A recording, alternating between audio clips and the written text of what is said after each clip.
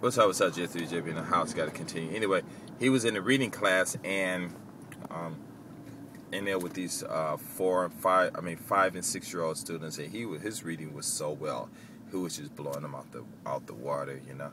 And uh, most of my students, if they do, they don't have to do homework, and if they participate in speaking class, um, some of they had these I mean, English tests out here, and I've had my students like seven, eight years old take the test to get you know over 40 out of 50 they'll get over 40 one girl she took the four i mean the five and then she took uh, what was it?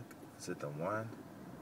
One two i forgot yeah the five and then she took the four and she blew that out the water. She got like a 46 out of 50 you know and um, it's just really interesting then I got some students who just don't, who kind of talk during class, you know, and mess around and stuff, and they take the test. And one girl failed, and because I don't know if she likes me or not, you know. And I was really sad. Her mom told me, and I was like, well, you know, uh, your daughter just talks the whole time during class and don't pay attention if she don't do her homework you know, she does. She'll do the homework and do everything backwards, and I'm like, why you keep doing it backwards? You know, this uh, you know, don't think a big deal until she took the test and it failed. You know, I just told her mother, you know, you know, if you look at your daughter's notes, you know, everything's there. You know, and then I had this other student. She's kind of like that too. She talk and try to be boss in the class. You know, he's eight, nine year old, ten year old kids and stuff. You know, and I'm not going to yell at them you know, and she took the test. Um, I think it was the 4Q test, I would think it was, or the 3, I'm not sure. And she just barely passed it, you know. And her mother said she passed it, but her score was slow. And I just said, you know, I keep telling your daughter, do her homework, you know. And, and what's interesting about my classes is that the homework, all I say, like in the reading, I say just give the paper to your kids and have them read just five minutes. That's all. You know, read the best they can and read out loud, and that's it. You know, it's just, it's just really interesting. But you know, my whole main thing is what I want to do is, and I know uh, I don't know if it's stupid or not, but I think a lot of other people are doing that too. You know, you have a certain group of people out here, and they got their, you know, when they um doing hiring and stuff, you know. I'm not saying if it's the I'm biased or not. It might be. I've heard a lot of stories. I actually haven't had the opportunity to uh, have these problems and things like that. And now that you know they're looking for teachers and stuff, and I guess if you're here, it's easier to get a job, you know. But um, um, how can I say that?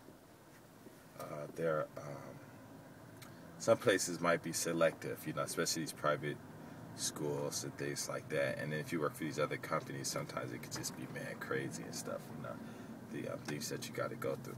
But um, what I want to do is uh, get all this training stuff done, these training manuals and stuff done, and try to open up some type of a um,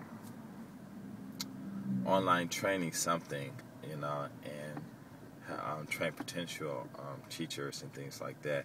Because my class, you have to know Japanese. You is speaking Japanese and knowing how to translate and how to do all this stuff.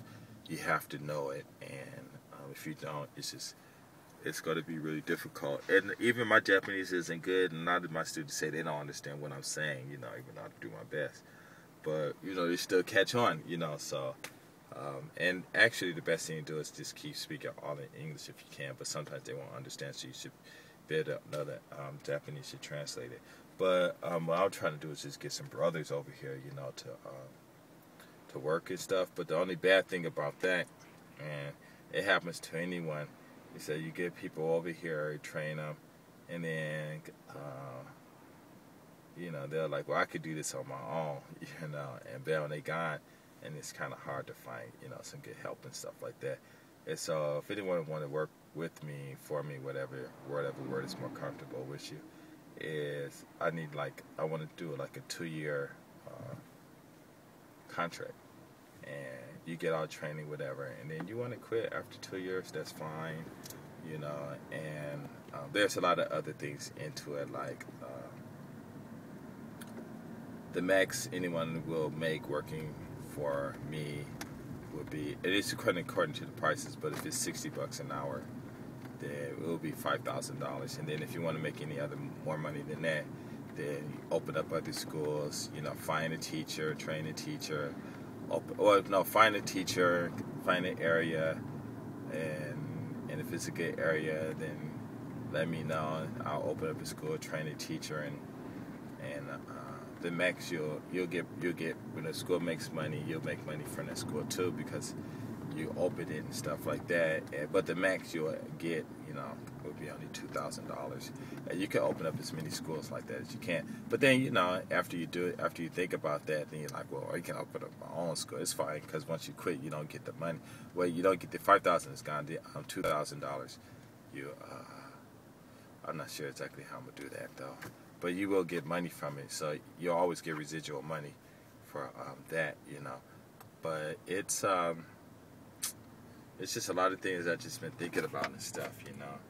But the whole thing, you know, about doing this, it's just, you know, you get these guys over here that's just really weak to their wives, and you know, once their wives, you know, just nosy, and these guys are just, oh my God, it's like they just really soft, and you get someone, some, I mean, because like some of these wives, they'll, your husband will open up, the wives don't want to do anything, and then all of a sudden the wives the wives get wise to the business, and next thing you know, she's meddling in it because he he don't have the power to stop her and everything. Because it's probably everything is in her name anyway, you know, and that's a no-no. You don't do that. You know, you do it in your name. And but you know, like uh, she my wife, I love her and I trust her. Like, all right, fine. You know, business is business, and you know, whatever.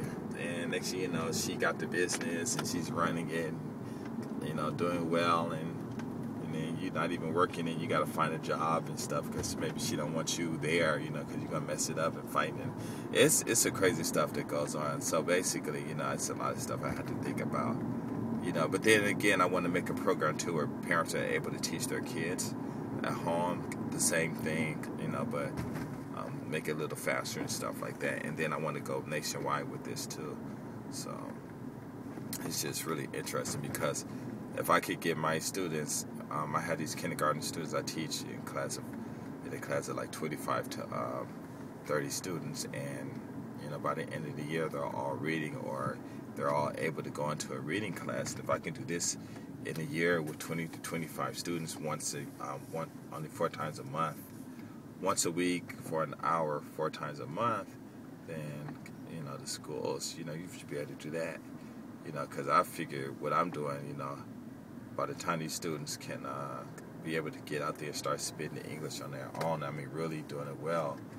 You know, I mean, of course, it should only take one year because if they're able to read, you know, start reading in one year and they read something there and they know how to translate it into Japanese, then all you got to do is remember those sentences and stuff like that.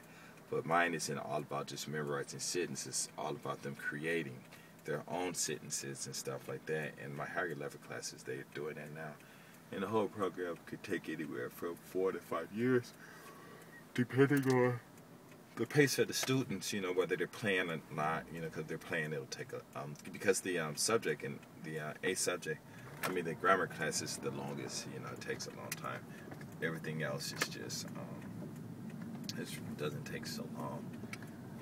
And then the first, of course, the first year until they start reading and stuff, um, that um, takes a about, you know, it takes a little while. Like this year, one girl, four year old, six year old sisters came in in six months. You know, they're reading like crazy, and now, you know, they haven't even been here a year, and they're already in a grammar course and stuff. So, and they're doing really good. So, uh, so uh, hopefully they'll finish it within a year. I hope they do.